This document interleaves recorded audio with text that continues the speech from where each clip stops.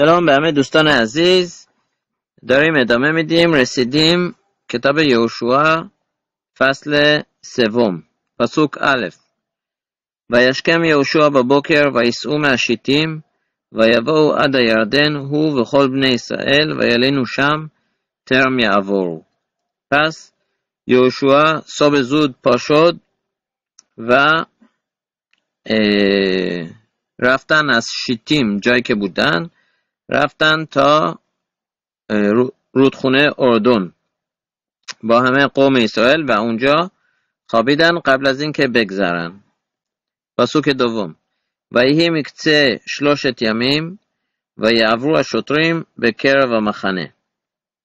بعد از بعد از اینکه سه روز اونجا بودن پس آدمای پلیس آدمای مسئول و همه جمعیت گذاشتن گذشتن.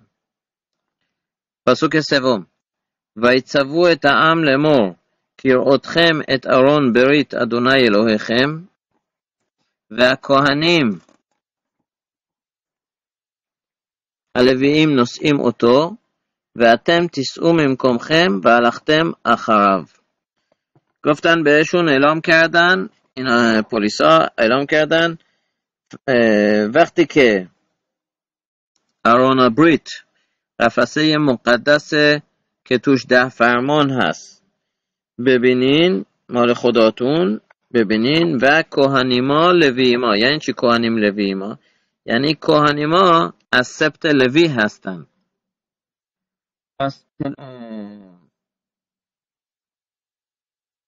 این کوهانیم لویما می‌بینین که قفسه رو می‌برن مثل که می‌دونیم قفسه مقدس آرانا بریتو.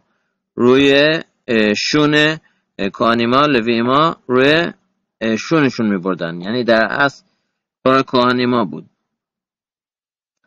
و ببینین اونا میرن شما شروع کنین تکون بخورین و دنبالش برین پسوک چهارم אחר חוק יהיה ביניכם וביניו כאלפיים אמה במידה, אל תקרבו אליו, למען אשר תדעו את הדרך אשר תלכו בה, כי לא עברתם בדרך מתמול שלשום.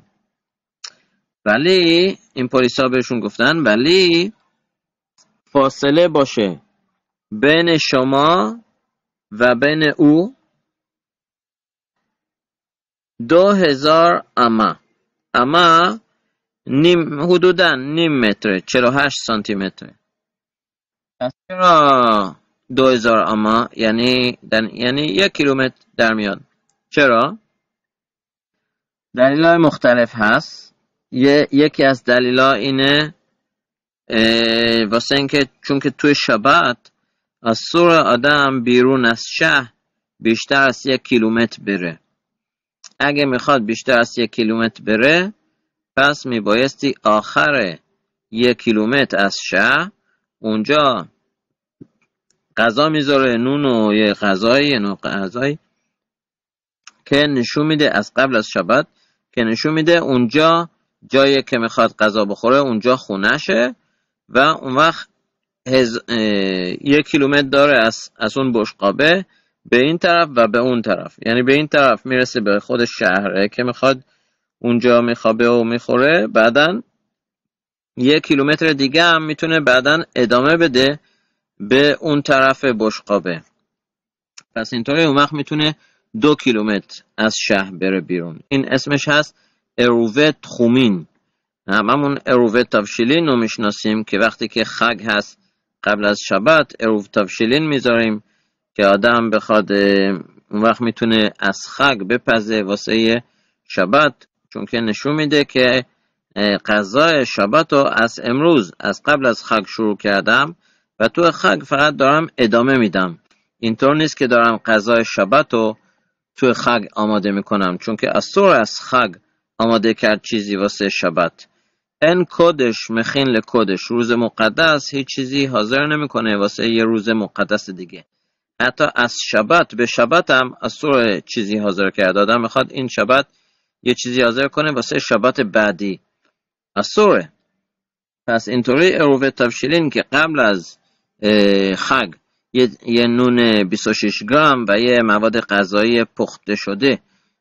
پنجاه گرم می‌ذاریم توی بشخاب و براخا میگیم و میگیم با این اروه مجاز باشه واسمون که همه کارامون رو پخت, پخت و پز و جمع و جور و شم روشن کردن و همه کارهایی که می‌خوایم بکنیم از خگ واسه شبت بکنیم. وقت مجاز میشه. این اروه تفشیرینه ولی اروه تخومین خوم همین بیرون رفتن از شهره. پس ایسور تخومین هست اسمشه. یعنی بیشتر از یک کیلومتر بیرون از شهر نمیشه. رفت. فقط اگه آدم اروف تخومین بکنه همونطوری بشقاب و غذا و نون و اینا بذاره یک به فاصله یک کیلومتر از شهر. یه جایی که از بین نره. پس اون وقت می‌تونه دو کیلومتر بره بیرون از شهر. پس این یه دلیله که بین شما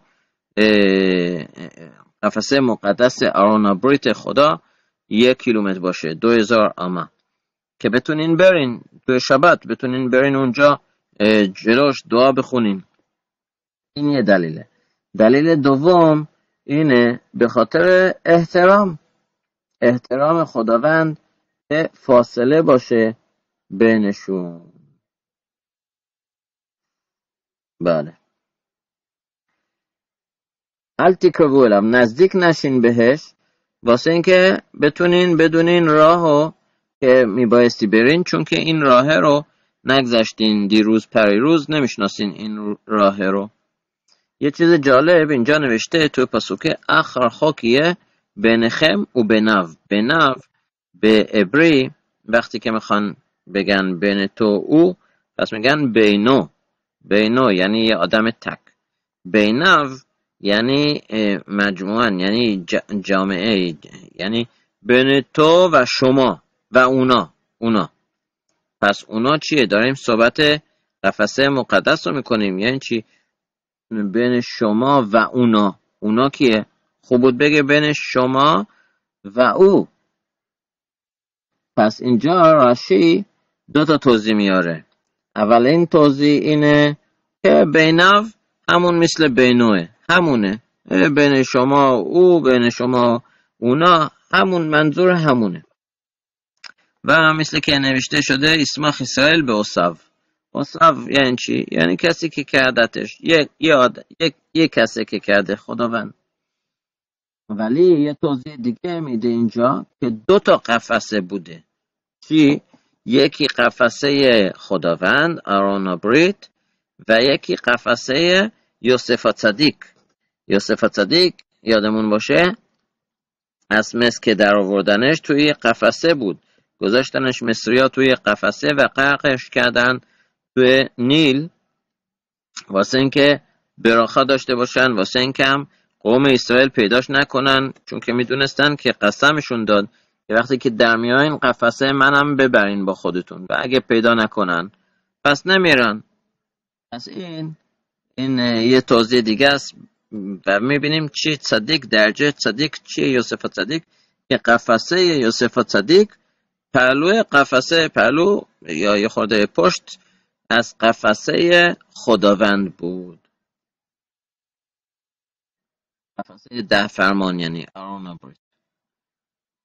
که پنجم و یامر یوشوع الی ام اتکدشو که מחר יעשה אדוני בקרבכם نفلات بهشون یوشوع روز سوم که دیگه باید بگذرن. این روز سوم روز سیوم سی ازاداری روی مشرابنو بود. سی روز ازاداری کردن و گریه کردن روی مشرابنو این روز سوم در میاد. عجله کردن اصلا وقت طرف نکردن. این سه روز آخر ببخشید روز سیام عزاداره روز اولیه این سه روز بود پس یوشوا بهشون میگه خودتون رو آماده کنین هیت کداشو منظور نیست مقدس کنین خودتون منظوره که آدم خودش رو آماده کنه چرا؟ چون که فردا فردا خداوند معجزه می‌کنه و که ببینین وقتی که رودخونه اردن رو بگذاریم معجزه می‌کنه و که ببینین آماده بشین. پس اینجا یاد می‌گیریم که آدم باید خودشو آماده کنه واسه چیزای مختلف. وقتی که شبات می‌خوای قبول کنی آماده کن خودتو آماده کن خودتو واسه خلق. چجوری آماده بشم چجوری به, به صورت های مختلف. مثلا واسه شبات میریم همون می‌کنیم لباس قشنگ میپوشیم. خونه رو جمع و جور می‌کنیم تمیز می‌کنیم همه این چیزا. مثلا آدم می‌خواد نمی‌دونم چی نوشته پیغمبری روح پیغمبری پس میره خودشو آماده می‌کنه خوشحال می‌کنه خودشو شعر میشنوه میره تنها میشینه که روح مقدس روش باشه. هر چیزی آمادگی لازم داره. این یکی از علمای روانشناسیه که توی تورا میبینیمشون. آدم نمی‌تونه همینطوری بیفته توی یه محیط بیفته توی یه, وضعیتی بدون آماده شدن. آماده شدن بدون روح آدم یه مرحله های میگذره و باید آماده بشه واسه چیزهای مختلف.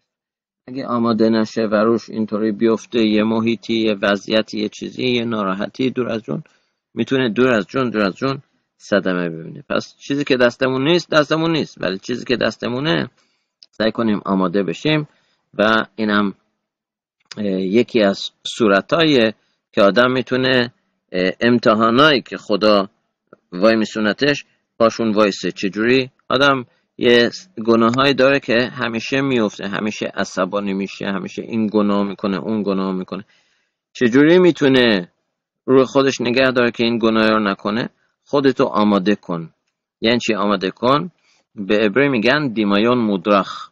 یعنی خودتو به فکرت به فکرت این همه چیزو الان داری مرحله می‌رسی و این دور و وقتی که تو این خیابون میری پس میافتی و این گناه رو می‌کنی پس توی فکرت نقاشی می‌کنی که داری توی خیابونه میری و چجوری جلو گناه وایسادی و گناه رو نمی‌کنی. این میره فرو توی مغز آدم و اثر داره. وقتی که بعدا یواش یواش البته نه ظرفه یه دفعه ولی یواش یواش اثر داره.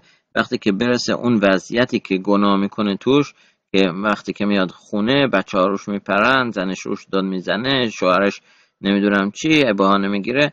پس وقتی که برسه اون وضعیت فوری عصبانی نشه فوری نیفته توی گناه مثل دفعه های پیش. علت چون که خودش رو آماده کرد چه جوری میبایستی رفتار کرد وقتی که به این وضعیت می‌رسیم پس آماده تره. حالا پس مغزش یه صورت دیگه صورت رفتار دیگه تو مغزشه. پس می‌تونه یواش یواش بره به اون صورت رفتار کردن. خب روزتون خیر و شبوات